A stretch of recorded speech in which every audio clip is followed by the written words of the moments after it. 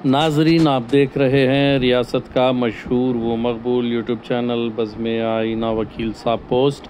सैयद कुदरतुल्ला खादरी वकील साहब, एक बार फिर अहम खबर के साथ आपके रूबरू हाजिर है।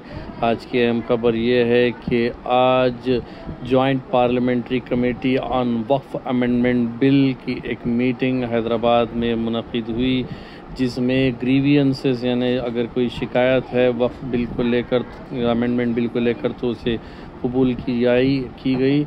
इस मौके पर बहुत सारे मुस्लिम ऑर्गेनाइजेशंस ने अपने अपने जो है राय पेश की और ऑब्जेक्शंस भी पेश किए। इस मीटिंग में तेलंगाना और आंध्र प्रदेश वक्फ बोर्ड के माइनॉरिटी कमीशंस और दीगर अहम शख्सियत स्टेक होल्डर्स ने भी शिरकत की। इस मौके पर हफीज़ ख़ान, सबक रुकन असम्बली करनूल, सबक रुकन असम्बली करनूल यम गफूर के अलावा दीगर S D P I party से ताल्लुक़ रखने वाले और ये M D Imtiaz retired I A S व candidate Y R C P Y S R C P incharge Kurnool ने शिरकत की।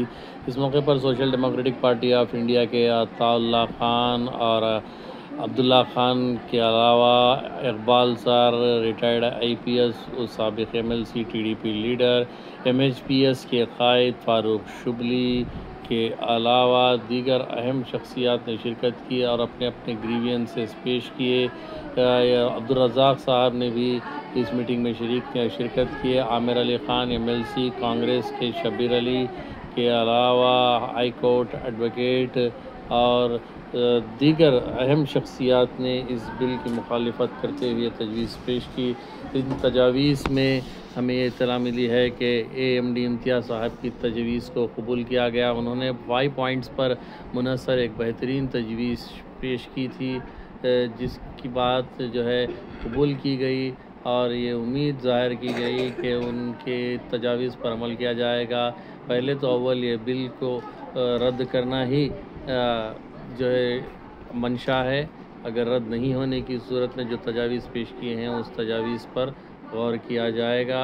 इस मौके पर के एम अनवर हुसैन, जमशेद शराफ के अलावा S J B Bukhari Nizamia college, Zakir Maulana और बहुत सारे अहम शख्सियात शरीक रहे। वही एस आर सी पी के कायद विजय साई रेड्डी ने बताया कि वो हरगिज़ भी इस बिल को जो है पास होने नहीं देंगे। डॉक्टर हुसैनी और उनके ग्रुप ने भी बेहतरीन जो है रिप्रेजेंटेशन तैयार करके दिया। इस मौके पर तजावीज़ पेश की।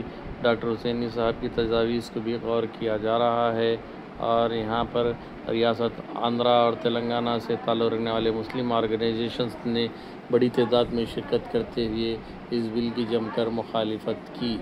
आप देखिए यह खसूस रिपोर्ट, सैयद कुदरतुल्ला खादरी वकील साहब को दीजिए इजाज़त। अगर आप हमारे चैनल कब तक सब्सक्राइब नहीं किए हैं तो ज़रूर सब्सक्राइब